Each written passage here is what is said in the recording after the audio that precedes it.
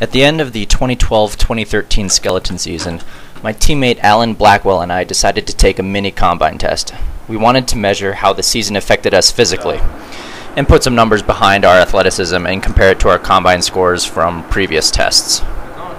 A standard combine consists of eight events in three categories, but because there was still a foot of snow outside, we just were going to do one from each category. So one sprint, a 15 meter sprint, one field event, an underhand shot toss, and one weightlifting event, the power clean.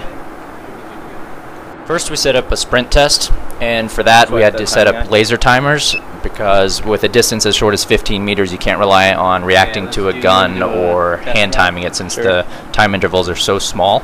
So we use infrared laser timers, and the athlete actually trips both the start and the finish timing eye to get the most precise and accurate time for the sprint.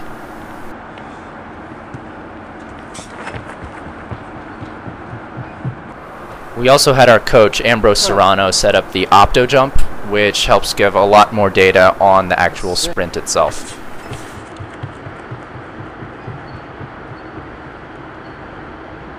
Two eleven.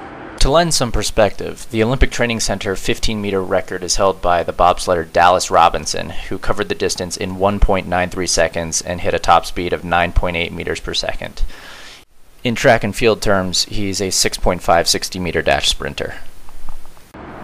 Alan had a best 15 meter time of 2.25 seconds on the day, which, as expected, was a little bit slower than his best time. I actually had a small PR of two seconds flat, but I think that has more to do with finding a more efficient starting method for the first couple steps. But there's more than just pure speed in pushing a skeleton sled or a bobsled. In the case of skeleton, you're pushing a 75 pound steel sled while running bent over, and a bobsled, a 400 pound two man bobsled or a 500 pound four man bobsled. And that's why we have the additional tests in the combine to measure plyometric explosiveness and overall strength kind of my thing is what I do. You know, you just gotta, sometimes you just gotta grit your teeth and go, you know, bite the bullet. Tell us why you're doing this combine. Because I'm a champion. I've said that already. Get out of my face. Alan hit 12 and a half meters in the shot toss, which was a good bit short of his PR. And I hit 18 meters in the shot toss, which was just a little bit short of my personal record. Alan had to leave to go catch a plane, but for me, it was on to the weight room to do the last test in this mini combine. Uh, the weightlifting portions are generally the weakest part of my combine in terms of points scored, but I still wanted to get a general assessment of how things would go.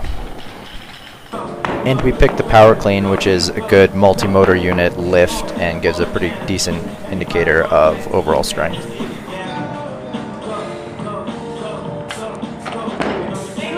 And I hit 120 kilos on my first attempt, which is good for me, and I was ready to call it a day. Uh, the combine went really well, surprisingly well. Uh, considering how I felt, we had a fun little race with the British team two days ago, and in spite of the burnout, uh, felt okay. I ran a two flat 15, uh, hit a Vmax of 9.43 meters a second within 15 meters, so that's good speed. Uh, shows that the acceleration is still there. 18 meters in the shot toss and 120 kilos in the power clean. So, all in all, surprisingly good day. Okay, so when we tested Nick earlier on, it's called the Opto Jump through Microgate we get a lot of different speed variables. We actually use it for sprinting. You can use it for a lot of different things, but we get a lot of speed variables out of it. And so what we see is we can look at contact times for every step. Hopefully, the idea is that you're seeing decreases in contact times over time. We see a little bit of increases throughout, so maybe not ideal sprint. We look at velocities, which is very important. You want to see this trend going up. As we can see the velocity between the first step and the second step all the way through his last couple of steps through the 19 meters.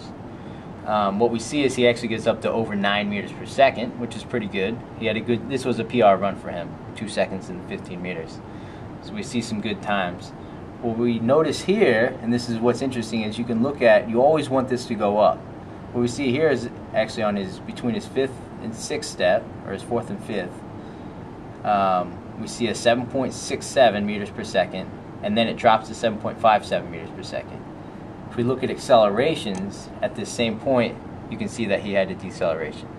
So it's actually nice. We can actually compare not only whether or not he's accelerating all the way throughout, but we can actually look to see if there's any influence on what foot is decelerating.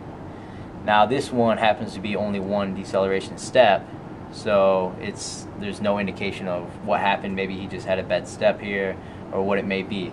If we look back, we can actually compare this with another one of his runs. We'll look at his third run, the one right after it, which is also a, a pretty good run. We can compare the runs.